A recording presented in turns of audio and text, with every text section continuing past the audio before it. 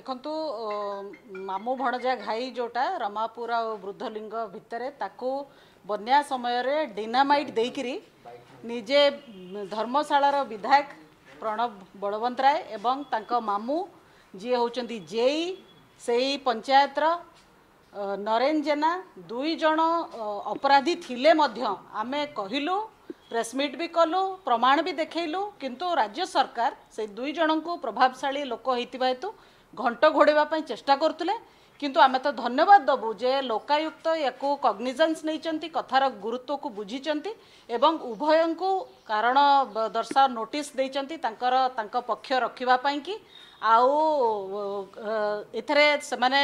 କ'ଣ ତାଙ୍କର ଭୂମିକା ୟାକୁ ସ୍ପଷ୍ଟ କରିବା ପାଇଁକି ଲୋକାୟୁକ୍ତ ତାଙ୍କୁ ଲେଖିଛନ୍ତି। ମୁଁ ଭାବୁଛି ଯେ ଦେଶରେ ଆଇନ ଅଛି ବିଭିନ୍ନ ଫୋରମ୍ ଅଛି ଯେଉଁଥିରେ କି ରାଜ୍ୟ ସରକାର ତାଙ୍କର ନିଜ ଅପରାଧକୁ ଯେତେ ଲୁଚେଇବାକୁ ଚେଷ୍ଟା କଲେ ବି କେଉଁଠି ନା କେଉଁଠି ସତ୍ୟ ନିଶ୍ଚିତ ଭାବରେ ଲୋକଲୋଚନକୁ ଆସିବ ଏବଂ ଦୋଷୀ ଦଣ୍ଡିତ ହେବେ ଇଏ ଗୋଟେ ଜଘନ୍ୟ ଅପରାଧ ଥିଲା ଓଡ଼ିଶାବାସୀଙ୍କ ବିରୁଦ୍ଧରେ। ଏଥିରେ ସିଧାସଳଖ ଏନ୍ଏସ୍ଏ ଲାଗିବା ଉଚିତ ନ୍ୟାସନାଲ୍ ସିକ୍ୟୁରିଟି ଆକ୍ଟ ଯେହେତୁ ଗୋଟେ ଗୋଟେ ବହୁତ ଦମ୍ଭ